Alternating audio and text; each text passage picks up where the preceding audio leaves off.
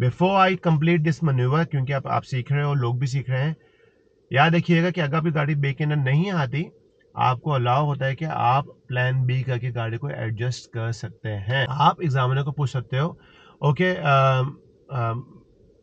Jordan do am to reverse my car and drive there drive that way. और reverse my car drive that you can ask examiner mm-hmm. Examiner आपकी help कर सबसे पहले हम जो manoeuvre आज करेंगे वो है फॉरवर्ड बे पार्किंग ठीक है?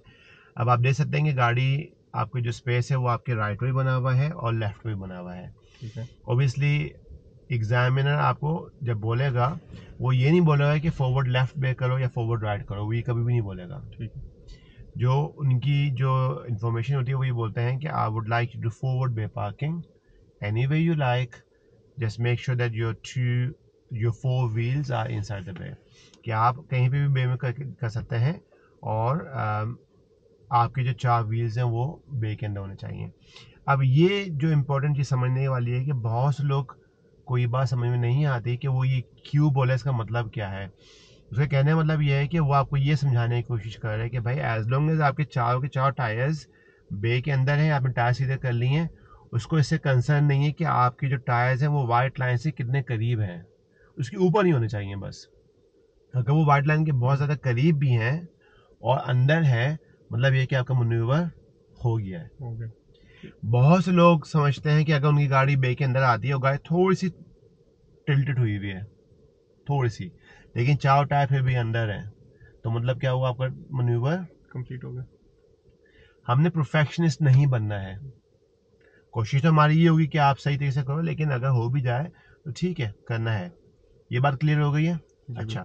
अब एक चीज़ जो बहुत से इंस्ट्रक्टर को चाहिए कि अपने लर्नर्स को बताने के लिए कि हम जब भी मनूवर करते हैं there four manoeuvres forward bay parking reverse bay parking parallel parking and pull over to the right manoeuvre इन चारों मनूवर्स में जो एग्जामिनर जो आपको टेस्ट कर रहा होता है, वो दो चीज़ों में टेस्ट कर रहा होता है। पहली चीज़ क्या है कि आपकी ऑब्जर्वेशंस हो रही हैं। अब ऑब्जर्वेशन में बहुत से लोग समझते हैं कि ऑब्जर्वेशन मतलब होता है मिरर्स चेक करना। मिरर्स तो आपने करना ही करना है।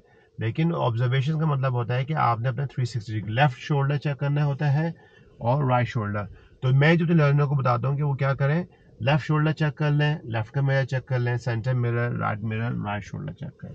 ये सही प्रोसीजर होता है। ये प्रॉब्लम क्लियर हो गई?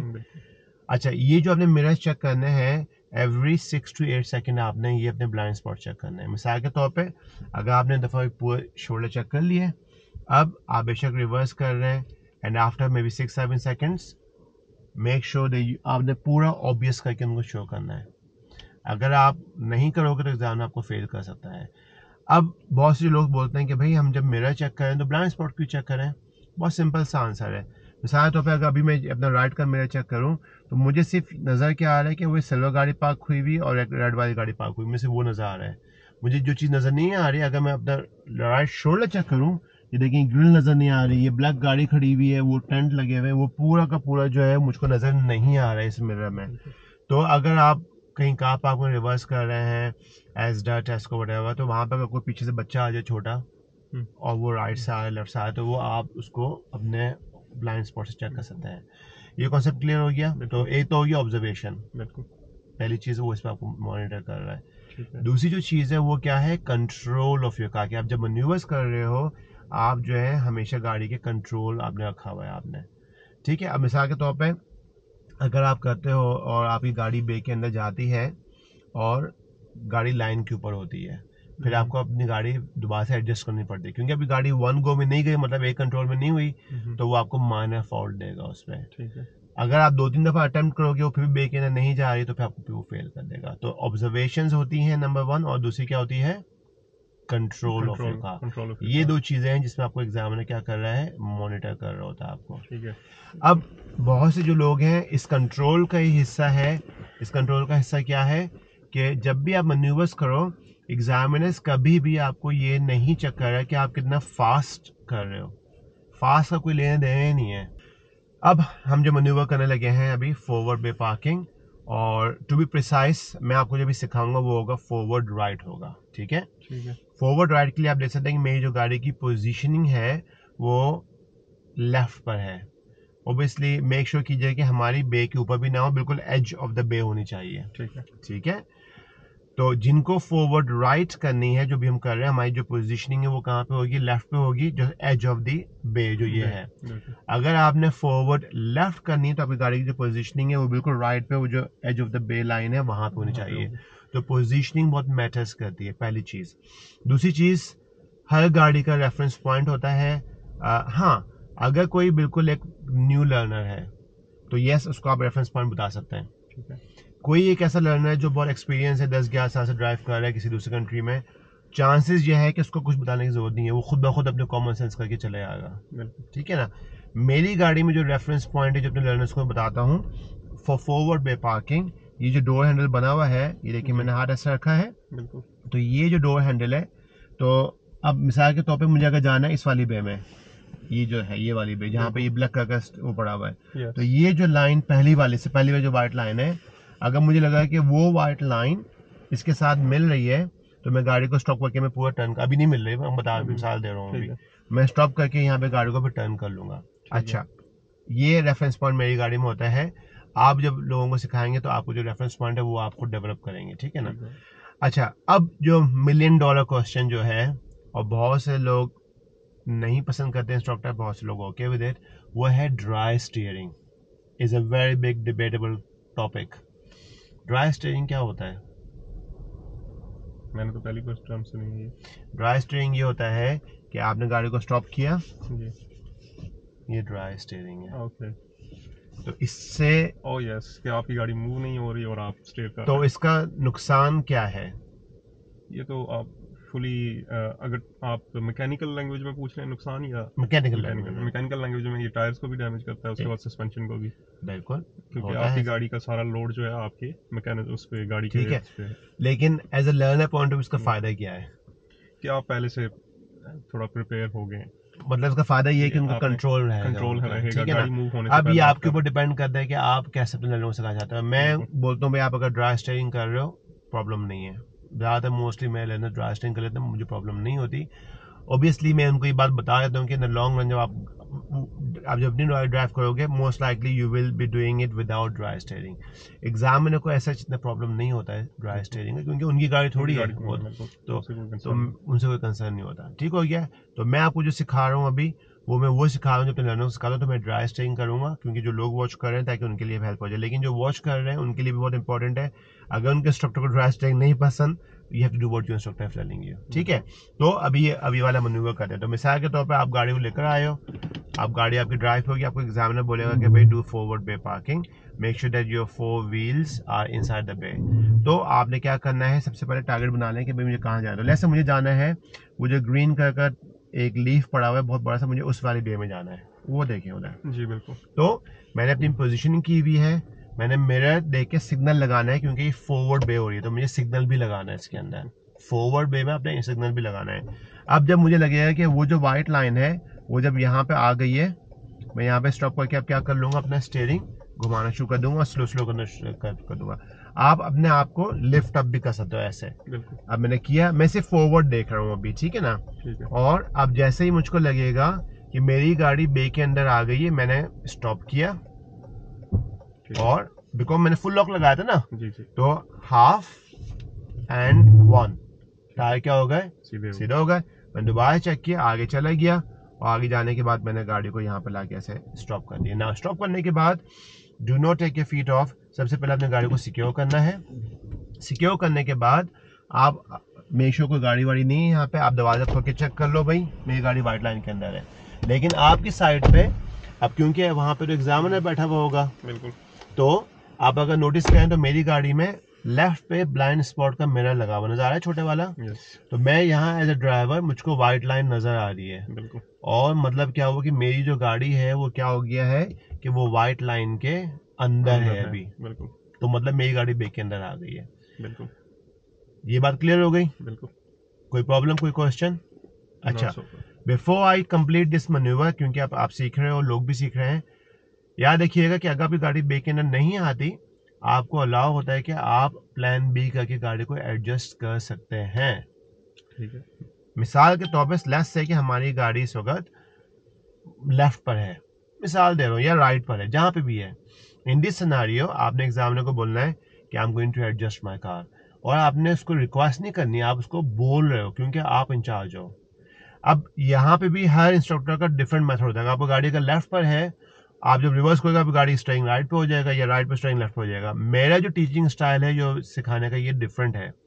मेरे स्टाइल में क्या होता है कि आप जब रिवर्स कर रहे हो और याद रखिएगा जब भी रिवर्स करते हैं सबसे पहले क्या करेंगे हम लोग अपनी ऑब्जर्वेशन लाजमी करेंगे अभी सिक्स टू सेकेंड मैं अपने लर्नर को बोलता हूँ कि गाड़ी डजेंट मैटर कहाँ पर है चाहे वो लेफ़्ट पे है कि राइट पर है हमें रिवर्स स्ट्रेट करनी है।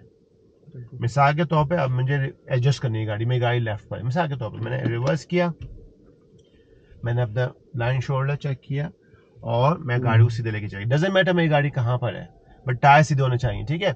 आपने ऑब्जर्वेशन करते हैं। नहीं है you can go as far as ये प्लान बी की बात हो रही है ठीक है ना? पीछे जाते रहे जाते रहे जाते रहे।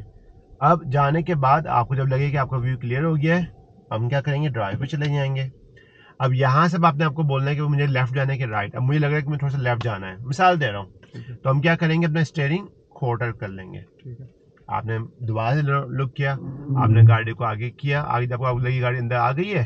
आपने जनाब इसको पे राइट या सीधा करके अंदर चले गए। ये प्लान बी अभी तक आपका मनूवर कंप्लीट नहीं हुआ है, ये प्लान बी है अगर आपकी गाड़ी कर्व के ऊपर है तो। प्लान बी समझ में आ गया? कोई प्रॉब्लम इसके अंदर? अच्छा। अब जब आपने बोल दिया कि हाँ भाई आई एम इन एग्ज़ाम में बोलेगा okay let's complete this manoeuvre और अब कंप्लीट के लिए वो क्या बोलेगा कि I would like you to reverse your car and your front bonnet facing on your left वो ये भी बोल सकता है। या front bonnet facing on your right या मैंने ये भी सुना है कुछ एग्जामिनर को बोलते हुए कि reverse your car your back bonnet facing the right अब बहुत कंफ्यूजन हो रही थी स्पेशली जो एशियन कम्युनिटी है जिनकी अगर इंग्लिश अच्छी नहीं है या उनको समझ नहीं आ रहा है उसका सिंपल सा हल है। अगर आपको नहीं समझ में आए आप एग्जामिनर को पूछ सकते हो okay Jordan do am to reverse my car and drive there drive that way. Or reverse my car drive that way? You can ask the examiner. Examiner आपकी हेल्प करेगा. प्रॉब्लम ये है कि हमारी जो कम्युनिटी के लोग हैं वो बहुत डर जाते हैं कि अगर मैं पूछूँगा तो पता नहीं क्या मुझे शायद कोई गोली से ना उड़ा दे. ऐसा नहीं होगा. आपका ये लैंग्वेज का टेस्ट नहीं हो रहा आपका ड्राइविंग का ड्राइविंग का टेस्ट हो रहा है. अगर आपकी लैंग्वेज थोड़ी सी वीक भी है तो उससे कोई कोई फ़र्क नहीं पड़ता बिल्कुल. हाँ अगर ड्राइविंग के दौरान अगर वो आपको कोई इंस्ट्रक्शन दे रहा है वो समझ में नहीं आया तो वहाँ आपके अलबत्त प्रॉब्लम हो सकता है। तो अब हमने इसको क्लियर इसको रिवर्स करना है और हमने लेसे जाना है ऑन योर लेफ़्ट हमारा फ्रंट बोनेट वहाँ पे जाएगा। तो अब यहाँ पे जो मैं चीज़ सब लोगों को समझाता हूँ वो बहुत समझने वाली बात है कि हमारे जो बे जो हमारी राइट पर है वो एम है। जो हमारी लेफ़्ट पर है वो भी क्या है? एम है। अब आप जब रिवर्स कर रहे हो आप अपने स्टेयरिंग अभी से पूरा घुमा सकते हो। जहाँ पे भी आप चाहो अगर आप लेफ़्ट जा रहे हो राइट जा रहे हो, अगर आप घुमा लोगे, आपकी गाड़ी yes it will swing into the empty bay examiner को प्रॉब्लम नहीं है। हाँ अगर कोई गाड़ी पार्क हुई हुई है और आप मिडिल में हो तो आपको पूरा निकलना पड़ेगा बाहर, या गाड़ी इधर पार्क हुई है तो आपको फिर बाहर निकल के फिर स्टेयरिंग घुमाना पड़ेगा, क्योंकि आप उसको भेंट कर सकते हो। लेकिन कोई अगर गाड़ियाँ पार्क नहीं है, आप अर्ली स्टेयरिंग कर सकते हैं। ये क्लियर हो गया? है और इसमें एक और चीज़ ये भी एक जब गाड़ियाँ पार्क हो ना तो मेरे ख्याल में लर्नर को ये भी फ़ायदा हो जाता है कि वो जो गाड़ियाँ पार्क हैं वो आपको एक रेफरेंस मिल जाता है कि आपने कितना बार जाना है। मिल तो जाता है लेकिन प्रॉब्लम सारा ये है कि depending on which car park अब हमारे जो कार पार्क जो हमारे जहाँ पे एग्ज़ाम करवाते हैं वो बहुत छोटे हैं। मैं लोगों को इनकरेज करता हूँ कि पार्क करो जहाँ पे गाड़ी एम है। टेस्ट की बात कर रहा हूँ। हाँ जब वो लेसन ले रहे होते हैं मैसेज जब मुझे लगता है कि वो एक एडवांस लेवल पे आ जाते हैं तो उनको मैं गाड़ियों के बीच में पार्क करवाता हूँ प्रैक्टिस करवाता हूँ लेकिन टेस्ट के लिए मैं उनको इनकरेज करता हूँ कि पार्क करो एक एम टी स्पेसिस में। ठीक हो गया? अभी इसके अंदर कोई प्रॉब्लम कोई क्वेश्चन सोफा नहीं। नहीं। है। तो अब मुझे वहाँ जाना है तो मुझे क्योंकि कोई गाड़ियाँ पार्क नहीं है तो मैंने ब्रेक दबाया रिवर्स किया मैंने फुल अपना ब्लाइंड स्पॉट चेक किया क्योंकि गाड़ियाँ नहीं है और मुझे वहाँ जाना है। अच्छा ये चीज़ मेरे जहन में आ गई। ये चीज़ बहुत इंपॉर्टेंट है। और जो लोग वॉच कर रहे हैं उनके लिए भी। आई होप अब आपको इसका मेक सेंस हो जाएगा। अब इस वाले मनूवा में प्रॉब्लम यह है कि अगर आपने गाड़ी को निकालना है, उधर लेके जाना है। आपको जो स्टेयरिंग है, वो हमेशा अपोजिट साइड पे जाएगा। इस चीज़ में 90 परसेंट लोग स्ट्रगल करते हैं। अगर आप उनको बोलते हो कि वहाँ ड्राइव करो तो वो स्टेयरिंग में कहाँ करेंगे? वहाँ करेंगे। क्योंकि ये फोर व्हील ड्राइव नहीं है, ये टू व्हील ड्राइव है, खाली फ्रंट व्हील मूव करें तो अगर आपका फ्रंट व्हील जाएगा लेफ़्ट पे, आप रिवर्स करें तो गाड़ी आपकी कहाँ जाएगी? राइट पे जाएगी। तो भाई, जो भी वॉच कर रहे हैं, अगर आपने रिवर्स गाड़ी करके लेफ़्ट पे ड्राइव करना है, आपका स्टेयरिंग राइट पे जाएगा। अगर आपने रिवर्स करके गाड़ी को राइट पे लेके जाना है तो आपका स्टेयरिंग लेफ़्ट पे जाएगा। तो अभी हमने जाना है लेफ़्ट पे तो हमने रिवर्स पे गए। हमने अपनी ऑब्जर्वेशन की और हमने अपना स्टेयरिंग पूरा घुमा दिया राइट पे क्योंकि कोई गाड़ी पार्क नहीं है अभी। ऑब्जर्वेशन करते रहेंगे देखिए मैं सिर्फ़ और सिर्फ़ ब्रेक यूज़ कर रहा हूँ। ऑब्जर्वेशन करते रहेंगे। जैसे ही आपको लगेगा कि आपकी जो गाड़ी है वो स्ट्रेट हो गई है तो हमने क्योंकि फुल लॉक लगाया हुआ है सीधा करने के लिए हाफ़ एंड वन ये हाफ़ एंड वन का जो फॉर्मूला है वो हमने याद करवाना लोगों को। यहाँ पे करने के बाद आप जो गाड़ी को स्टॉप कर लोगे आप ड्राइव पे जाओगे आप लुक अराउंड करोगे और आप गाड़ी को ड्राइव आगे जाके फिर यहाँ पे आपको एग्जामिनर कोई वॉल होगी कुछ भी होगा बोल देगा okay that's fine stop the car anyway over है और यहाँ पे स्टॉप करके आप गाड़ी को सिक्योर कर लोगे और यहाँ पे आपका मंदिर कंप्लीट हो जाएगा। ठीक है कोई क्वेश्चन फॉरवर्ड वे पार्किंग के लिए? नहीं सो फार सो गुड